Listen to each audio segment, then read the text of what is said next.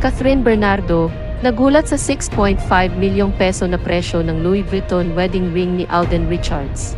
a very huge part of my life. Uh, I'm sure, hindi ko alam kung ganun din ako sa kanya. Pero ako,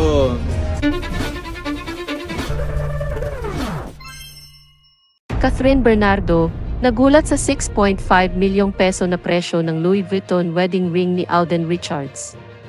Ngayon, kumakalat sa mundo ng social media ang nakakagulat na balita hinggil sa wedding ring ni Catherine Bernardo na binili di umano ni Alden Richards. Ang presyo nito umabot ng 6.5 milyong piso. Ang balitang ito ay lumabas kamakailan at agad na naging usap-usapan sa iba't ibang plataforma ng social media. Ibinunyag ni Catherine Bernardo ang halaga ng wedding ring na ibinigay sa kanya ni Alden Richards at agad na nagtrending ang kwento. Bago ang paglantad sa presyo, nanawagan si Catherine sa mga bagong taga-subaybay na mag-subscribe sa kanilang channel. Matapos nito, isiniwalat niya ang kakaibang impormasyon tungkol sa kanyang engagement ring. Ang naging sorpresa ng publiko ay nang malaman na umaabot sa 6.5 milyong piso ang halaga ng nasabing singsing. Ayon kay Catherine, ito ay gawa sa isang kilalang jewelry shop at itinanghal na isang obra ng sining na puno ng mga diamonds. Bagamat wala pa ito sa kamay ni Catherine, makikita na ito sa mga larawan. Ayon sa aktres, espesyal ang singsing dahil sa mga diamond na nagbibigay ng karagdagang halaga dito. Hindi lang ito simpleng singsing, kundi isang simbolo ng pagmamahalan ni na Catherine at Alden. Sa nalalapit na kasal ni na Catherine at Alden, muling binuhay ng aktres ang pag-uusap ukol sa presyo ng kanyang wedding ring. Ang 6.5 milyong piso na halaga ay nagpapatunay ng pagiging espesyal ng kanilang pag-ibigan. Sa kabila ng pagbibigay diin ni Catherine Bernardo sa espesyal na halaga ng kanyang engagement ring, nagbigay pa siya ng dagdag na detalye ukol dito. Sa isang eksklusibong panayam, ibinahagi ni Catherine ang ilang aspeto ng Louis Vuitton wedding ring na nagdudulot ng lubos na pagkamangha sa mga netizens. Ayon kay Catherine, ang nasabing singsing ay hindi lamang nagtatampok ng mga diamonds, kundi mayroon ding kakaibang disenyo na gawa ng mga ekspertong alahero. Ipinakita niya ang intricacies ng disenyo na tila nagbibigay buhay sa bawat bahagi ng singsing. Isa itong likas na ganda na nagsasalaysay ng kwento ng kanilang pag-ibig. Dagdag pa ni Catherine, ang 6.5 milyong piso ay naglalarawan ng mataas na antas ng pagpapahalaga ni Alden Richards sa kanyang piling. Hindi lang ito simpleng singsing, ito ay isang pamana ng pagmamahal na may taglay na pagsusumikap at pagmamalasakit, pahayag ni Catherine. Samantalang marami ang nagpahayag ng tuwa sa magandang balita, may ilan namang nagulat sa mamahaling halaga ng wedding ring. Gayunpaman, muling ipinaalala ni Catherine na ang pagpapahalaga sa bawat saglit ng kanilang pag-iibigan ay ang pangunahing dahilan kung bakit nagkaroon ng ganitong kahalagang bahagi ang kanilang pagmamahalan.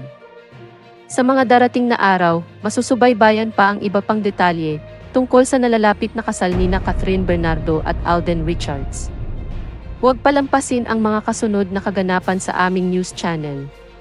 Maraming salamat sa inyong pagtutok. Ayon sa ulat, tila ang isang issue ang nagiging sentro ng atensyon sa kasalukuyan tungkol kina Catherine at Alden. Ayon sa mga nanggugulo ng balitang ito, tila sobra-sobra raw ito para kay Catherine. Ngunit ayon naman kay Alden, nararapat lang daw ito para sa kanyang soon-to-be wife. Binibigyang diin ni Alden na si Catherine ay nag-iisa sa mundo, at sa paglalagay pa lang ng mga diamonds sa singsing, nais nitong patunayan ang kanilang wagas na pagmamahalan. Dahil dito, mas lalo pang ramdam ni Catherine ang kahalagahan ni Alden sa kanyang buhay. Ayon sa aktres, bihirang pagkakataon ang magkaroon ng isang tulad ni Alden na handang gawin ang lahat para sa kanya. Ipinagpapasalamat ni Catherine ang pagiging super sweet ng aktor sa kanya at umaasa na ito'y magtatagal pa. Sa gitna ng mga komento mula sa ibang tao na nagsasabing mas lucky si Alden kay Catherine dahil sa kanyang kayamanan, mariing itinatatwa ni Catherine ang mga ito. Ayon sa kanya, hindi niya iniisip ang anuman na maaaring maging hadlang sa kanilang relasyon. Ang mahalaga sa kanya ay ang responsableng pagmamahal ni Alden, ang pangako nitong mamahalin siya habang buhay. Dagdag pa ni Catherine na hindi niya iniinda ang mga haka-haka mula sa ibang tao, at mas iniuna niya ang pagtataguyod ng kanilang relasyon kaysa sa mga bagay na wala namang katuturan. Samantalang si Alden naman ay nagpapahayag ng labis na pagmamahal kay Catherine at sa mga bagay na kanilang pinagdadaanan. Sa kanyang pahayag, siniguro ni Alden na handa siyang maging mabuting asawa para kay Catherine at gagawin niya ang lahat upang mapanatili ang ligayang umiiral sa kanilang pagsasama. Ang dalawang bituin ng industriya ay nagsasaad na ang kanilang pagmamahalan ay hindi lamang nakabatay sa material na bagay, kundi mas higit pa rito. Ang kanilang ugnayan ay itinatag sa pagpapahalaga sa isa't isa. Pagtanggap sa bawat kahinaan at pagbibigay respeto sa mga pangarap ng isa't isa. Sa kabila ng lahat ng mga intriga, mas pinipili ni na at Alden na manatili sa kanilang masaya at payapang mundo. Handa silang harapin ang anumang pagsubok na maaaring dumating at ituring ang bawat isa bilang kakampi sa bawat yugto ng kanilang buhay. Ang pag-ibig ni na Catherine at Alden ay tila isang masalimuot na kwento na puno ng pag-asa at pagmamahalan. Sa kabila ng mga opinyon at spekulasyon, ang magkasintahan ay patuloy na nagtataguyod ng mas matibay na pundasyon para sa kanilang samahan. Sa hinaharap, masasaksihan natin kung paano haharapin ni na Catherine at Alden ang mga pagbabago at hakbangin ang mas magandang bukas kasama ang isa't isa.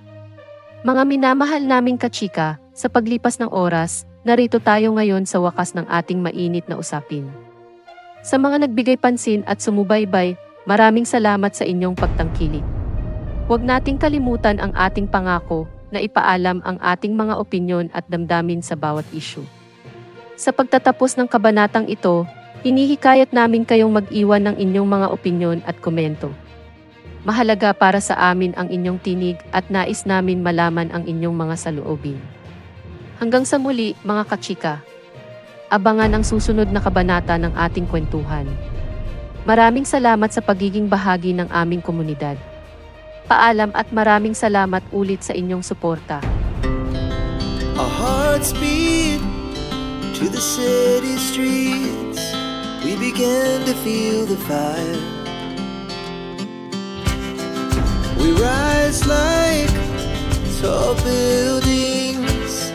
As the chemicals that take us higher. The night's young